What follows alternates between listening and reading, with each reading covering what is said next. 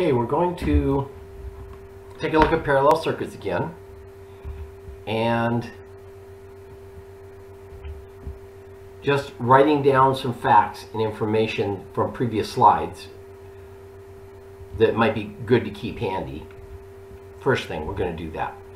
Connection between the uh, bandwidth and um, and Q quality Q and so forth. So we want to know all the branch currents. It's it's a current divider situation. So whatever the highest conductance, the highest uh, admittance is, will be the component that, that has most of the current.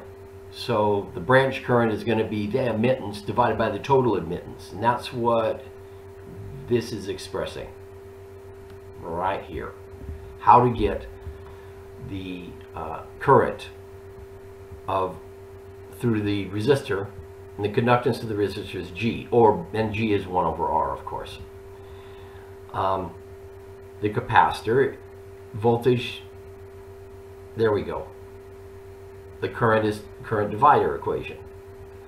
And 1 over the impedance of the capacitor. Same thing here. Same idea here the current divider. At resonance you got that.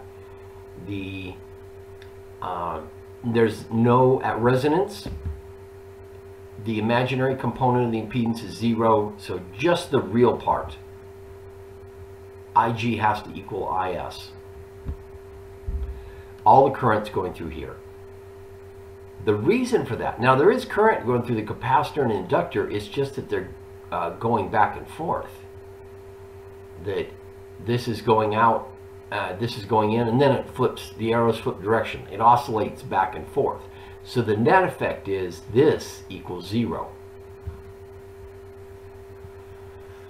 Um, figuring out the magnitude of the current. Let's see, we wrote down the equation over here, j omega c over um, y, y equals g, so we get this equation going over here, looking at remembering what Q is, well, QIS. And the same thing here. So this will be equal to QIL.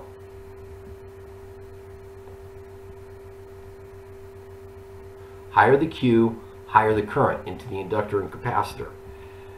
Um, but they're the capacitor is giving the current to the inductor and at other points in the cycle it's the reverse.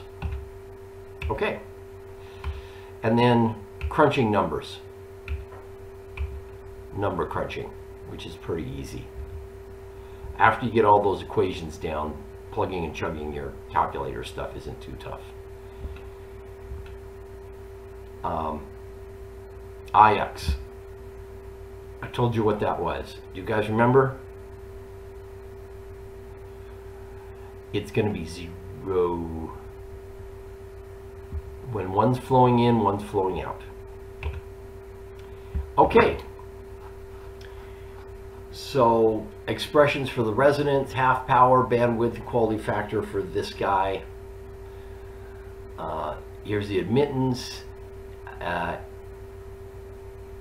this is a definition of the gain. Notice we don't have a voltage over here, we have a current instead. H is the transfer characteristic.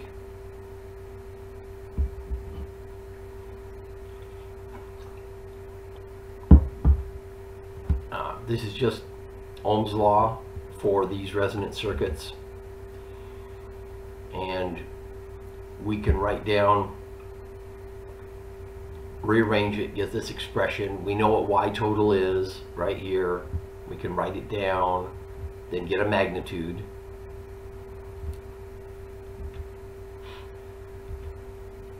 Um, resonant frequency, you got that.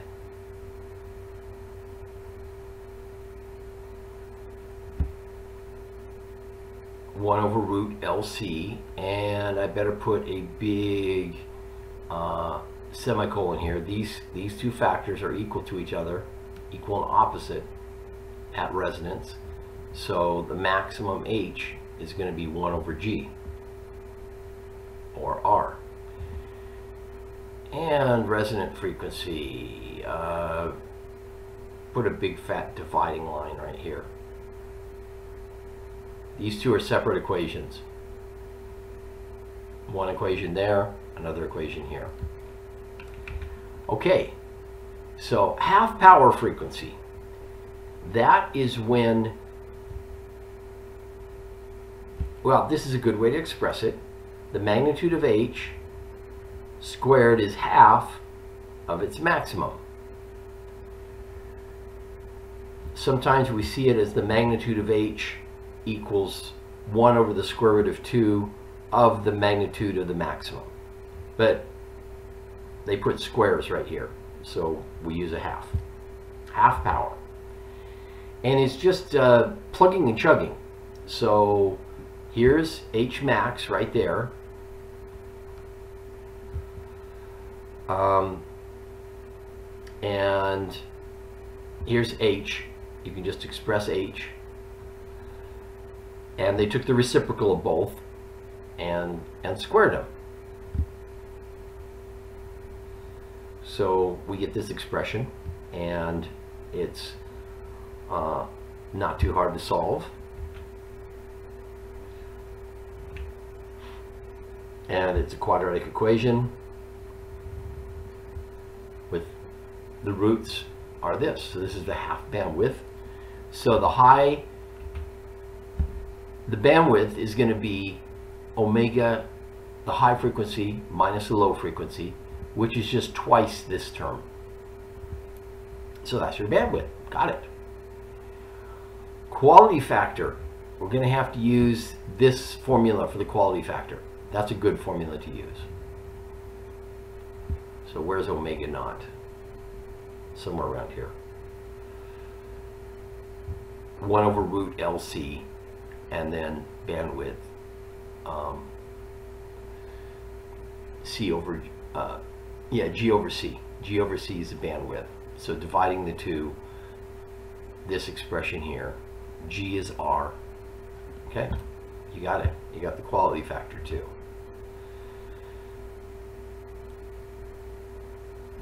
If we make these substitutions here, it's, it's not too tough to show that you can make these substitutions up here in this expression to get this expression. Yeah.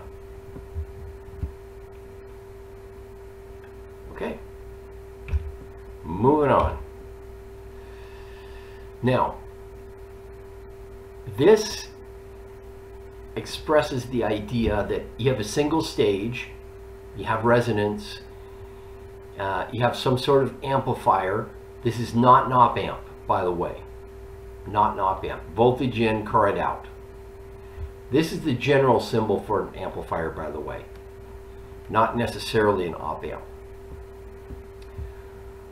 So uh, we get the single, the single stage amplifier, and quality is given by these expressions.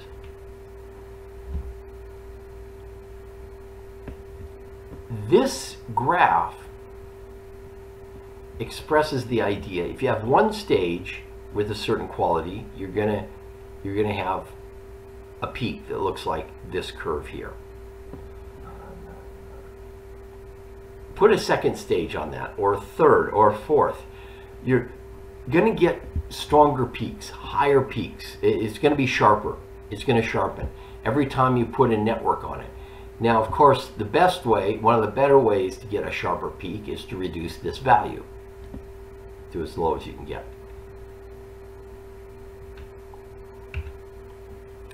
And this looks like a good time to stop and pick up pick up um, the next video.